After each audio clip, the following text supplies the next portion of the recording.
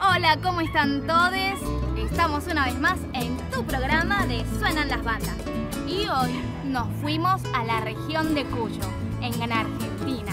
Y nos encontramos nada más y nada menos que a Julián Manrique y las manchines de Cuyo.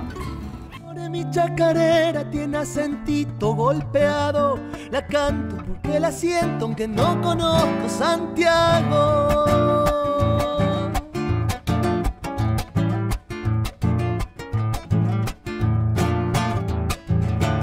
Cerquita detrás la sierra traigo el rajido mezclado. El chango no se sorprenda de mi acentito puntano. ¿Cómo llega Julián Manrique a cantar? ¿Y cómo describirías esos sonidos que podemos escuchar en tus canciones? De muy chiquito mi abuelo, eh, transportista, camionero, guitarrero, transcuriano y cantor, llevaba su guitarra y me invitaba y me llevaba a hacer parte de sus viajes por toda la provincia, por todo el país y a veces por otros, eh, lugares sí, de Uruguay, Paraguay, Bolivia. Él me cargaba en su camión y me llevaba y cuando paraba hacía como pequeños descansos, sacaba la guitarra y se ponía a tocar y de ahí empezó, creo, mi influencia o mi recorrido en la música. Los sonidos de, nuestras canciones son muy particulares, tienen que ver con, el mestizaje, ¿sí? tienen que ver con lo afro, tienen que ver con lo cuyano, tienen que ver con lo social y con lo contestatario. ¿Qué proponemos nosotros? Hacer música afrocuyana de corte social contestataria. Ese es nuestro, norte, ese es nuestro objetivo y componer canciones renovando el repertorio de música folclórica cuyana con historias nuevas de gente trabajadora, de trabajadores y de trabajadoras de acá de, de, de todo nuestro San Luis. Cuéntanos, ¿qué te inspira? ¿Cómo es el proceso creativo? ¿Y con qué resistencia te has encontrado en la industria musical? El proceso creativo es algo eh, que, uno lleva permanente, o por lo menos yo lo, lo vivo así, escuchando eh, a las personas, eh, rescatando frases, anotándolas en una libreta, anotándolas en el celular, memorizándolas rápido hasta que llego acá y las anoto, que esas historias que se condensan en pequeñas frases, creo que es importante porque nos cuentan y representan la idiosincrasia de cada lugar, de cada pueblo, y esos son disparadores para generar procesos creativos de canciones. La industria musical no, no está dando tanta resistencia, o por lo menos a, a mí, de hecho se abrió el abanico, existen de alguna manera una nacionalización de la música, eh, abriendo perspectivas nuevas, eh, permitiendo registros en Sadaig, permitiendo eh, acoplarse a Inamu, a Capif, a Adi. Entonces desde esos lugares yo creo que no está tan difícil acceder ¿no? a esta industria de la música. Yo creo que ser creativos al momento de, trabajar y poner, poner el acento en lo que a uno realmente le importa.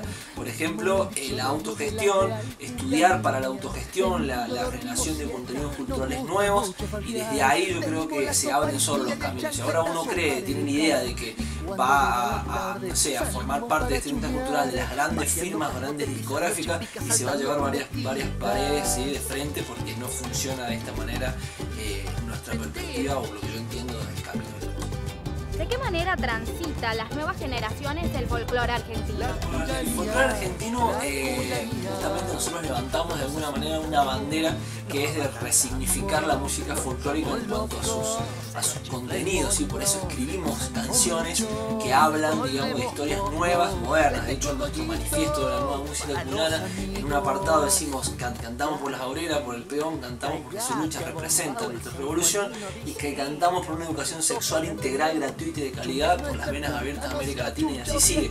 Eso creo que es nuestro camino, ahí está condensado de alguna manera lo que representa para nosotros y lo que hay que resignificar y cambiar en esa grieta, digamos, que hay que hacer en el folclore para que renueve, reflorezca todo lo nuevo y este mensaje claro que nosotros tenemos. Y escudriñando por ahí, nos encontramos que tu último disco se llama Del barrio al barro.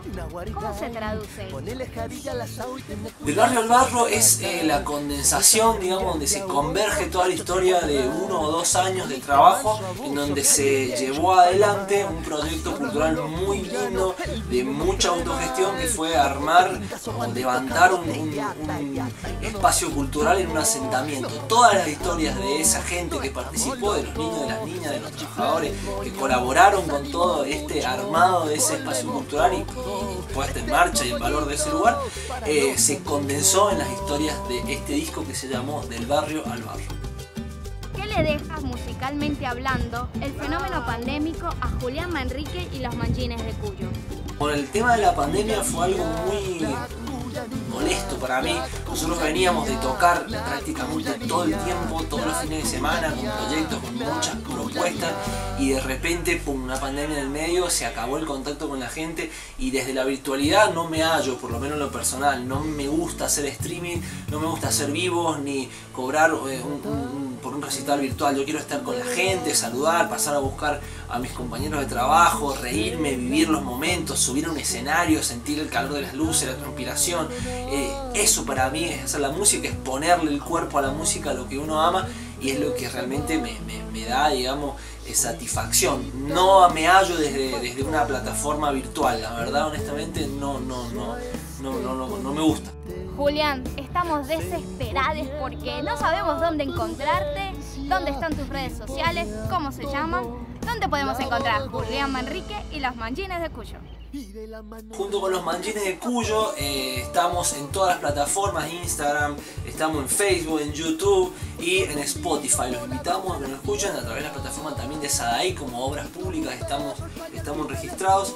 Eh, ahí están todas nuestras canciones de música frucuyana de corte social contestataria. Los invito a que nos escuchen. Para nosotros este es el manifiesto de la nueva canción cuyana, lo que nos representa, lo que de alguna manera identifica nuestro pensamiento del nuevo folclore y la música cuyana.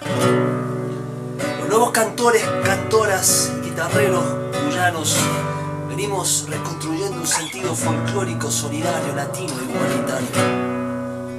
Andamos en contra de la razón, porque cuando morimos lo hacemos con una mano puesta en el corazón. Sangre urbana, mezcla de guarpe, ranqueles y comechingones Huecas cuyanas, cumbia, rock and folk, tonada, chingui chingui, zamacuecas. Un pastiche armónico y convergente, en donde reconocemos en esta música la herencia africana borrada, olvidada, latente. Cantamos por las obreras, cantamos por el peón, cantamos porque esas luchas representan nuestra fucking revolución. Cantamos por una educación sexual integral, gratuita y de calidad. Cantamos por las venas abiertas de América Latina porque este es el manifiesto de la nueva música cuyana, popular y argentina. Muchas gracias gente, gracias por esta invitación a Suena las Bandas. Julián Manrique y los Manjines de Cuyos. Traigo un cantito de barrio adentro y un alto parlante arriba de un rastrojero. Ambulante barrio adentro, homenaje a los vendedores ambulantes, esos que dicen, le estamos cambiando el cartón de huevos por una batería vieja.